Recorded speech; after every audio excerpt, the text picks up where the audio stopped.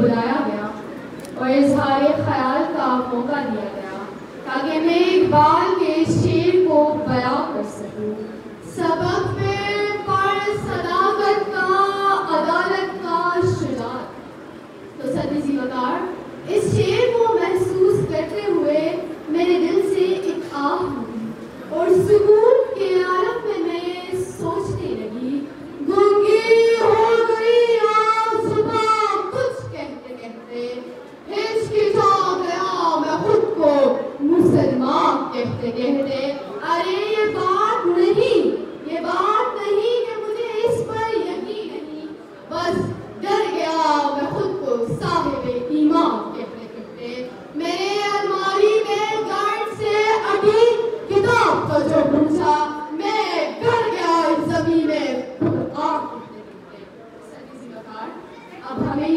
पूछना होगा कि क्या हमें सदाकत अदालत और शुजात ज़िंदा है?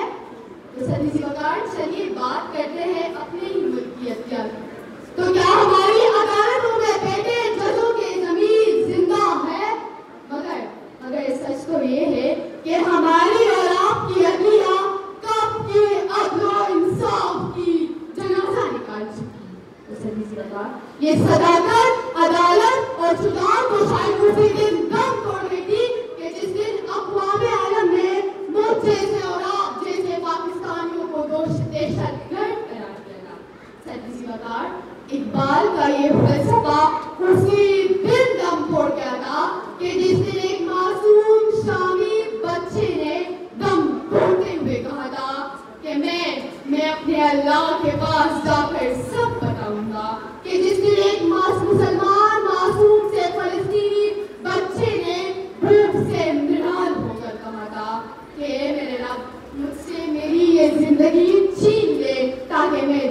कि जाकर खाना पा सकूँ।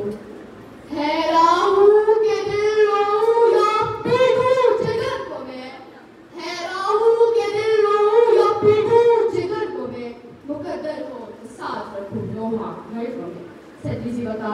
ये सदाकत अदालत और चुनाव उसी दिन दम तोड़ देगी कि जिस दिन उमरा और शोफा की बेटियाँ इंस्टाग्राम फेसबुक और टिकटॉक पर अपने जिसम की नुमाइश करती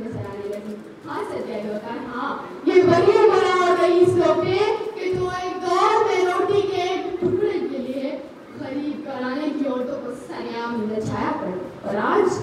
आज उन्हीं की बेटियाँ सोशल मीडिया पर रब्स करके लाइक्स इकट्ठे करने को फ़ैशन समझती आज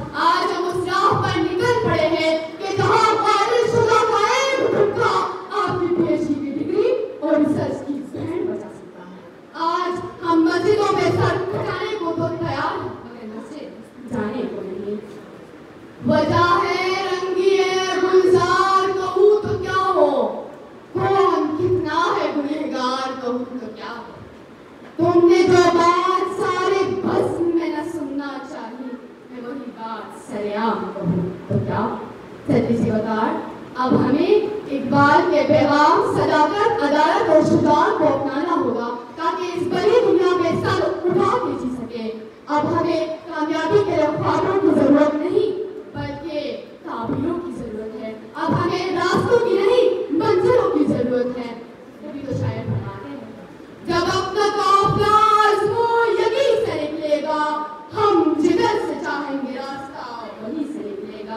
लिबास गैर न होगा जब तन पे अपने, न कोई सांप आस्ती से निकलेगा। जो बाकी